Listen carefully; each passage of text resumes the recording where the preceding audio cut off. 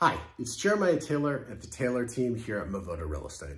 And I want to talk to you a little bit about preparing your home for sale this spring.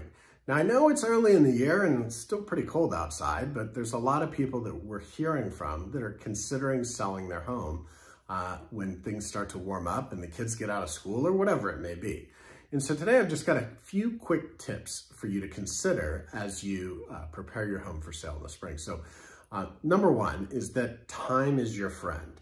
You see, a lot of times when you have a home that you need to sell, what happens is people decide to sell quickly because they found another house that they want to buy. And then all of a sudden it's a rush to get the home on the market, get photographs, get it done, get it to market and get an offer in so that you can go buy the other house that you really want.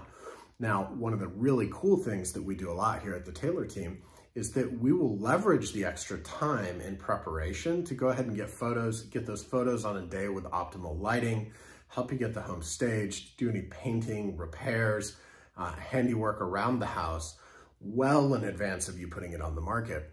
One of the biggest things that we see in today's market is that the, the homes that are selling for the best prices. Now we know inventories are way down, but Oddly enough, there's still homes that come on the market and they sit for weeks and weeks and months, and people wonder why didn't they sell? And it's because they weren't presented in their best light. And that's really our opportunity when we have some time to present the home for the spring selling season. And so there's a few key things you can do. Number one is declutter. Number two is paint. Number three is landscape.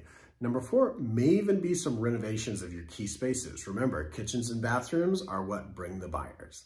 So if you want some tips on your specific situation or you want to take a look at what it may cost um, to get your home ready to sell so that you can net top dollar when you decide to put it on the market, shoot us a note. We'll be happy to come out, do a no cost or obligation consultation with you, walk you through exactly what we would do to maximize the sales price of your property.